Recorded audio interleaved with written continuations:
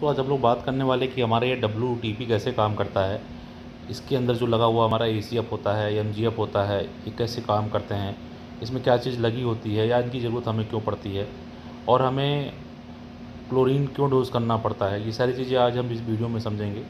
और इसके अलावा हम ये भी समझेंगे कि हमारा जो वाटर का टीडीएस होता है, उसको हम आरओ से कैसे ट्रीट करते हैं और आरओ का जो मेमरोन होता है, कैसे काम करता है मेमरोन की कितनी वैल्यू होती है सारी चीज़ें बात करेंगे दोस्तों एमजीएफ की। यानी एमजीएफ क्या होता है? एमजीएफ मतलब होता है multi graded filter multi grade क्या होते हैं दोस्तों? हमारे दो एम से लेकर चौदह एम तक के पत्थर होते हैं, जिसको हम लोग सैंड बोलते हैं ग्रेवल्स बोलते हैं पेबल्स बोलते हैं।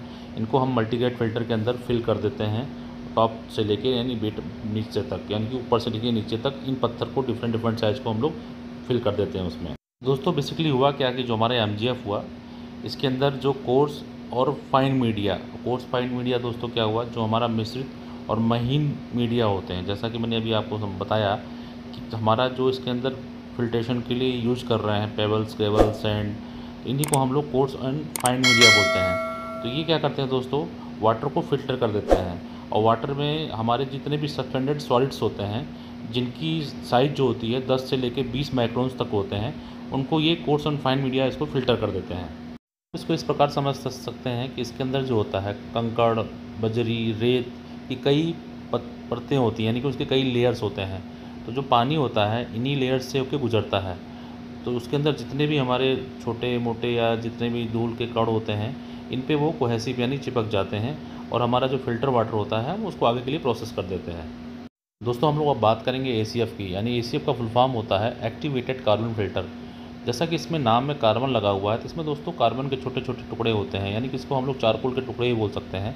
ये करता क्या दोस्तों? पानी के अंदर जितनी भी इम्प्योरिटीज़ बच गई हैं, या हमारा कोई माइनर स्पेल बच गया है, उसको ये ख़त्म कर देता है।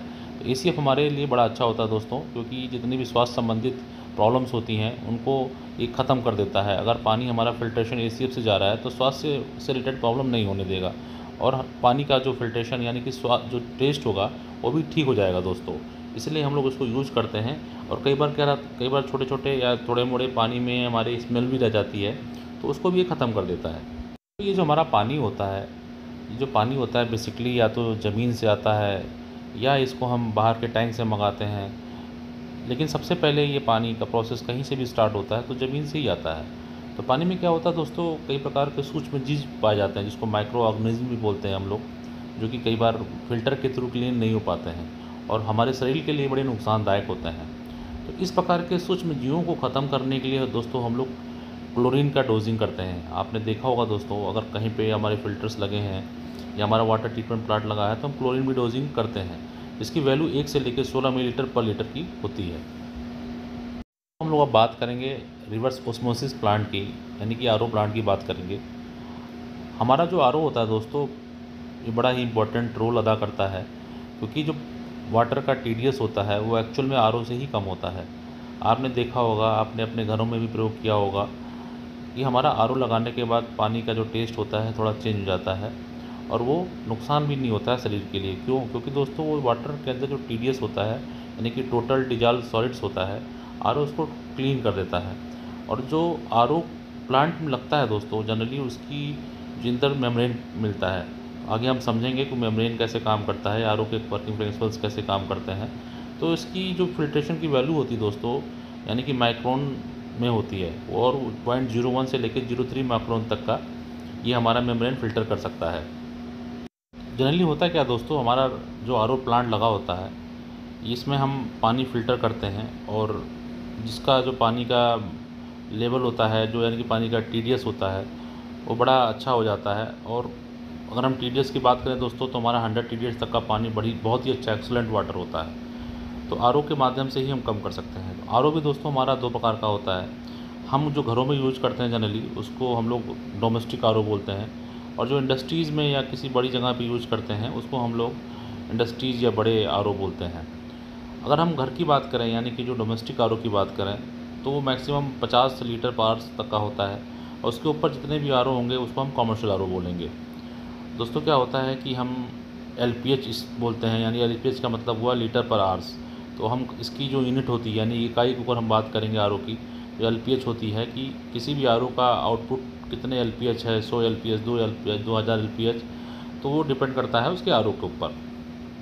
होता क्या है दोस्तों, हमारा जो आरओ होता है, उसके साथ ये देखिए हमारा हाइड्रोनोमेटिक पंप लगा होता है, जो कि पानी को बहुत ही प्रेशर से आगे भेजता है। आगे क्या होता है दोस्तों, हमारा मेम्ब्रेन होता है। मेम्ब्रेन को देखने के लिए आप हमारी पुरानी वीडियो में जा सकते हैं। मैंने मेम्ब्रेन की डिटेल बनाई है कि मेम्ब्रेन के अंदर कौन कौन सी लेयर होती है और कैसे काम करते हैं कंटेमिनेंट्स को कैसे वो बाहर करते हैं और कैसे फ़िल्टर करते हैं। तो आप वो देख सकते हैं मेरे मेम्ब्रेन की वीडियो में जाके। तो दोस्तों क्या होता है कि हाइड्रोनोमेटिक्स जो ये पंप होता है, पानी को बहुत ही हाई प्रेशर से उस झिल्लियों के माध्यम से आगे बढ़ाता है। तो जो उसके अंदर माइनर भी चीज़ें होती हैं, जैसा कि मैंने आपको बताया था कि इसकी फिल्ट्रेशन की जो क्षमता होती है पॉइंट वन से लेके पॉइंट ज़ीरो वन से लेके पॉइंट ज़ीरो तो हम, हमारा ये जो आरओ होता है, उसके साथ में हम कार्टेज फ़िल्टर भी लगाते हैं।